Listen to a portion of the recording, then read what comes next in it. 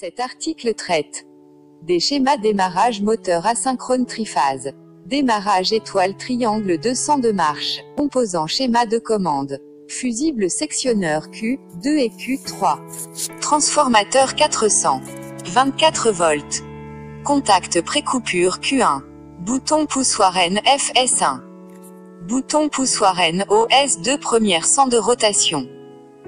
Contact NO de KM2 13 à 14.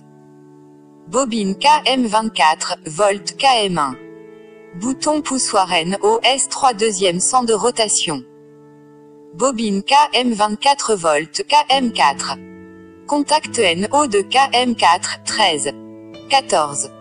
Bobine KM24 volt KM1. Contact NF de KM1 28. 29. Bobine KM24 volt KM5. Bobine KM24 volt KM3. Contact NF de KM3 28. 30. Contact NO de KM3 13. 14. Contact NO de KM1 13. 14. Contact de relais tempo NO. Contact de relais NO de KM1 13. 14. Contact de relais temporisé. Contact de relais temporisé 5. Contact NF de relais thermique F1. Contact NO de relais thermique F1. H3 triangle. H4 étoile. H3 signifie l'absence ou le présence de courant. Ma de puissance. Moins 3 linges de phase. Fusible sectionneur tri Q1. Contacteur KM2 première 100.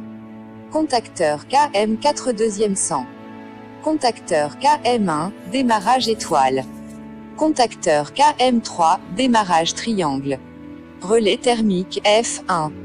Le moteur asynchrone triphasé M, que fonctionnement, une impulsion sur le bouton poussoir S2 excite la bobine KM2 ce qui provoque son auto-alimentation. L, excitation des bobines KM5 et KM1. Le démarrage du moteur en couplage étoile. 5 secondes après, le contact de relais temporisé de KM5 changement DA ce qui entraîne la désexcitation de la bobine KM1. L. Excitation des bobines KM3. Le couplage du moteur passe de L en triangle le démarrage est terminé. Bouton poussoir S1 ou une fonction de relais thermique F1 désexcite tous les bobines et le moteur s'arrête.